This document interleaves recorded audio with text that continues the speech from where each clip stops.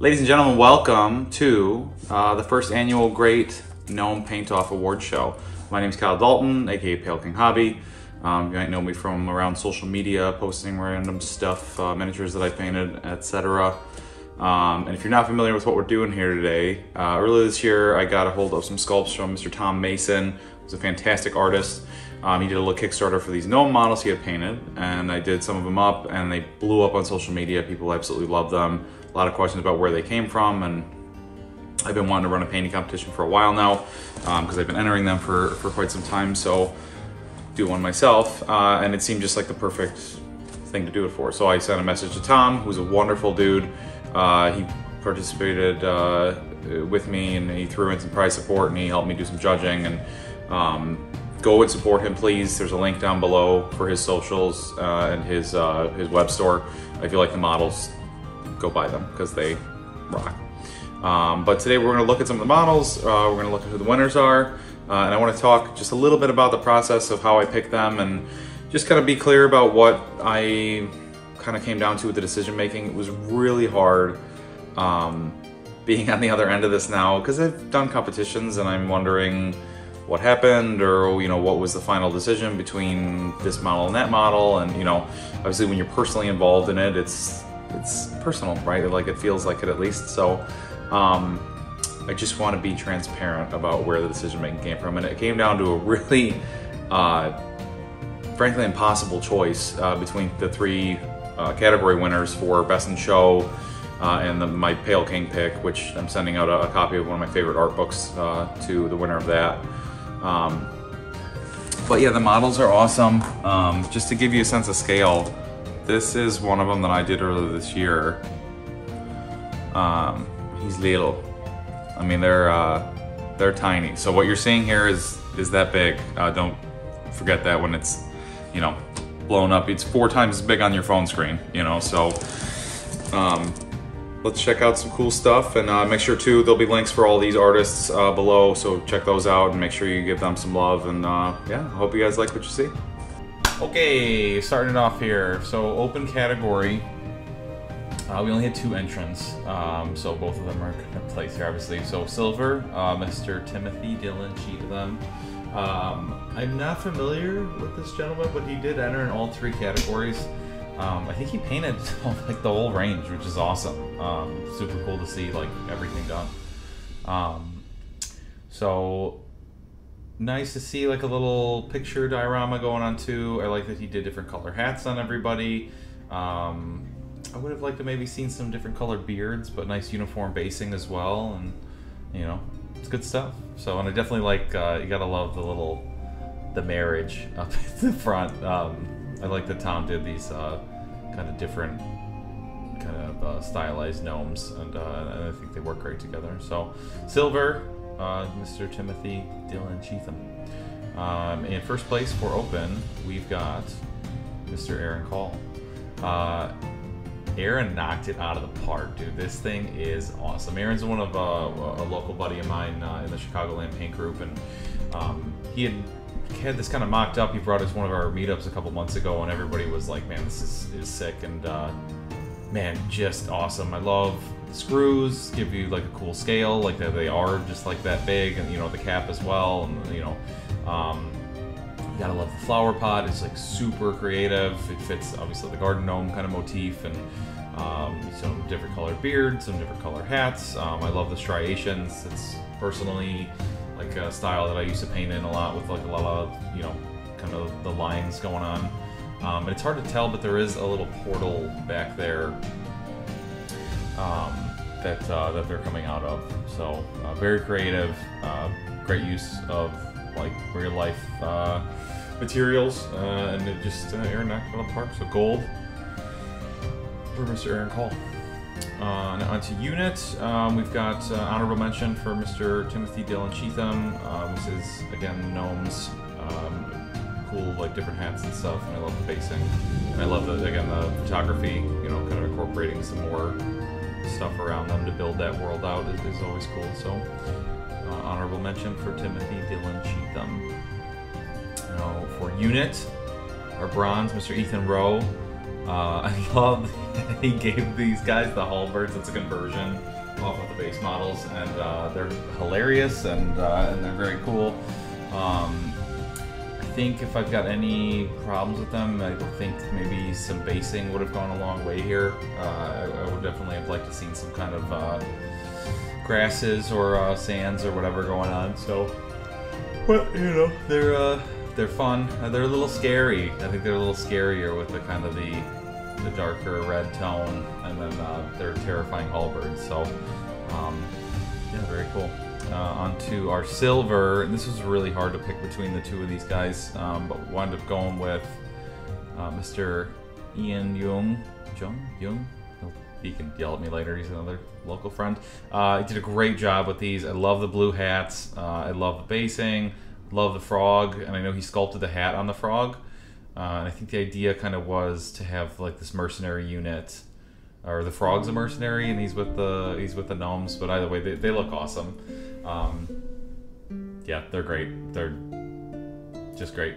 So uh, very cool stuff. And I love the frog is really probably the best thing, and it's this kind of the color theory thing where you know you've got the most saturated color uh, is the greens kind of going on in the frog, and he's obviously the biggest thing in the center, so you get kind of drawn to him. Great photography, I think. Love a little bit of dirt up on the shovels. Uh, is a nice little uh, quick touch to do uh, on your stuff to give it a little bit more character, just that little bit of weathering. So awesome stuff. Uh, and then onto gold for unit, uh, Mr. Kris Chung. Uh, Kris is a Las Vegas painter. He came out of the scene not too long ago. I've been kind of following him for the last year and a half that he's been on the scene. He does awesome stuff, and he sent me these, and I was just absolutely in love with them. Uh, it's like the Gnome Avengers, dude. It's the, like it's the Gnome Avengers. They're so freaking cool. Uh, there's freehand, and there's great volumes, and there's textures, and there's uh, OSL, and there's a little butt, a little green butt. So um, bases are also great. You've got that classic superhero basing style with the with the streets and the street lines. Um, and I love the different colored beards, how they all match kind of the characters. You get the blonde on uh, on Mr. Steve Rogers in the middle, and uh, they're uh, they're very very cool. Um, I think for me, from a technical standpoint, from a technical painting standpoint, this is the best thing in the competition.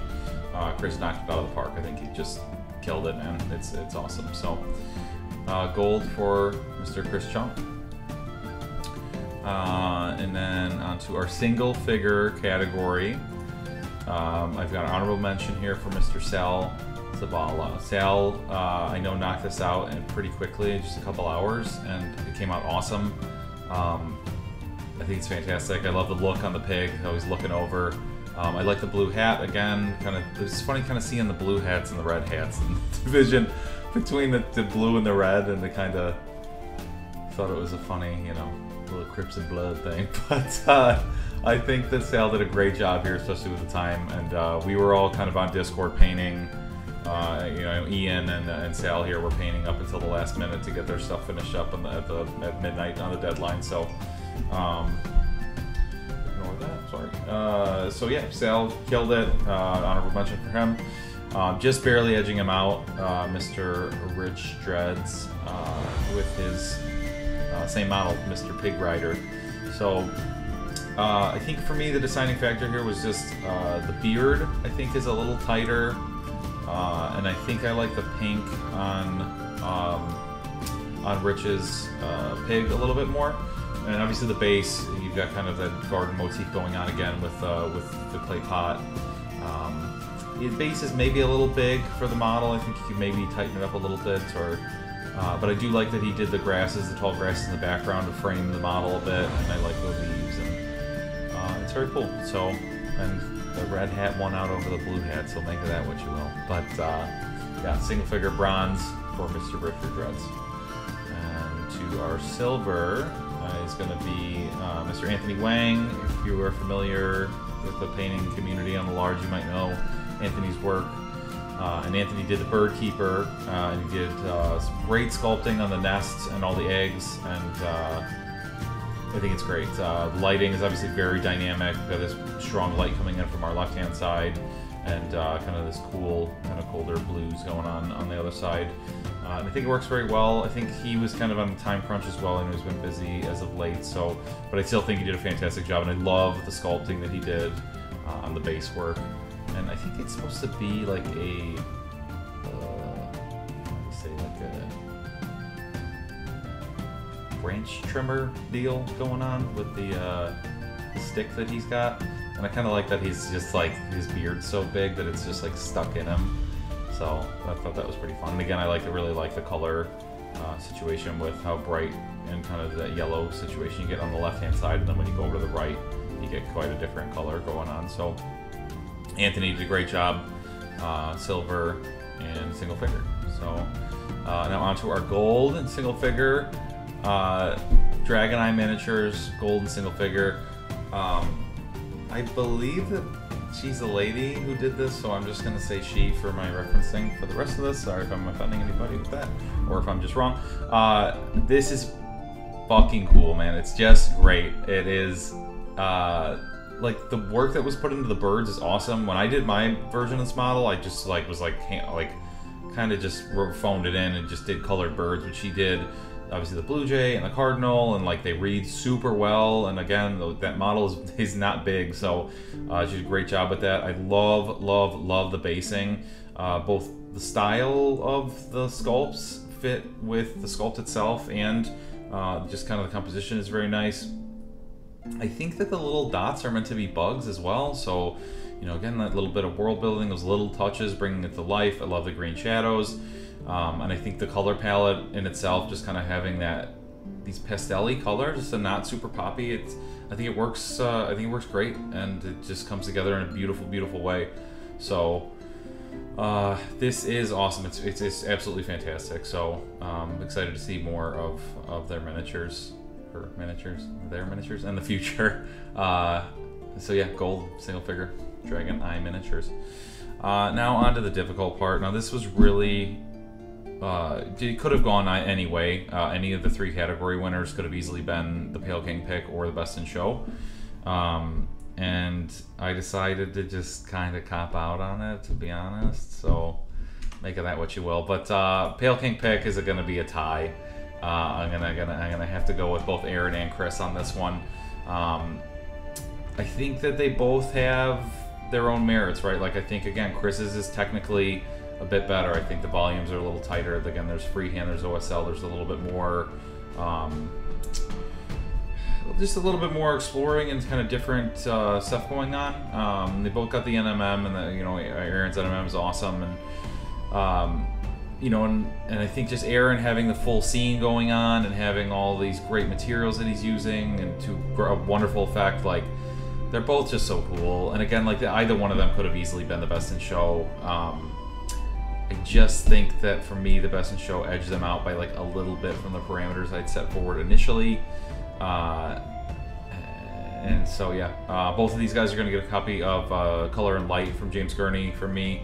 Um, so I'll get those out soon. And uh, if you haven't read that, that's definitely, if you want to start exploring some of the stuff that I'm talking about uh, and, and get to where these guys are, uh, that's a great place to start. So uh, yeah, Pale King picks Mr. Aaron Call and uh, Mr. Kris Chung. Uh, and then finally, Best in Show. Gotta do it. Dragon Eye Miniatures. As soon as I saw this piece, I was like, that's gonna wind up winning, isn't it? Because it's just, I, I just love it. I absolutely adore it. Um, Dragon Eye just killed this thing, so um, gonna get something very special for them. And uh, and yeah, so there is the winners, guys. I hope you uh, Hope you liked them.